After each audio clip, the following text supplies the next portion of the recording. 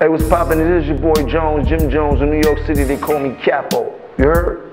Dipset, nigga. Shouts to FB. Dame, what up? Holla at me. Me and Cam started a long, long time ago. Um, you know, probably after high school, we started venturing into the uh, into the music when we knew that uh, Cam's athletic career wasn't gonna go the way we wanted it to. Started recording because Cam and Mase started waking, making way more money at rapping than I was at doing behind the scenes.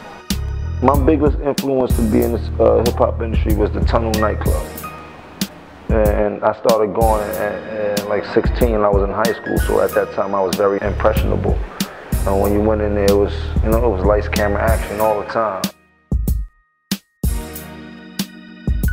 Cam gave me that first check when we first did the diplomat deal, things changed a lot for me at that point in time.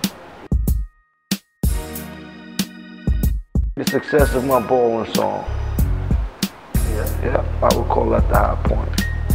Oh, I don't really feel no lows. I'm still making money. Shit, how low can you go?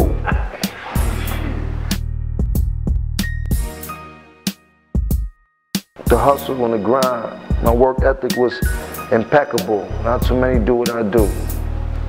I mean so much to a lot of people that came up just like me, and I mean for people from the hood that came up hustling, came up struggling, and in all parts of the world for that matter. So at some point, I got to take responsibility for the voice that I have. So, you know, I feed the people.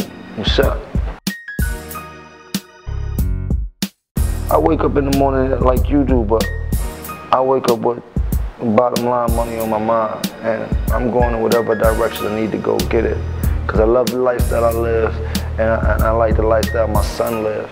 So I don't know what my work, my life work will embody, but I know at this present time I embody that hustle, mind, body, and soul with a check at. Holla at me, you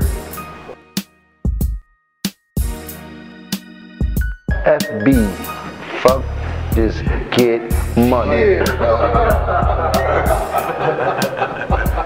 Nah, let me stop. let me stop. That was an old saying that somebody said to me. You know what I mean?